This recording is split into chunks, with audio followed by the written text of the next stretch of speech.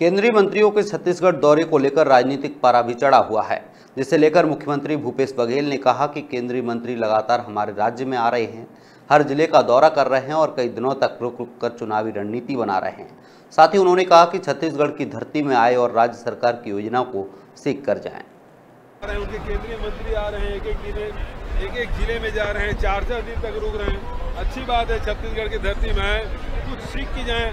जो छत्तीसगढ़ में हो रहा है, चाहे कृषि के क्षेत्र में हो, चाहे लघु उपज के क्षेत्र में हो, चाहे श्रमिकों की जो योजनाएँ हैं गोधन न्याय योजना है, सबको देख के जाएँ अच्छा लगेगा, यहाँ से कुछ सीख के जाएँगे।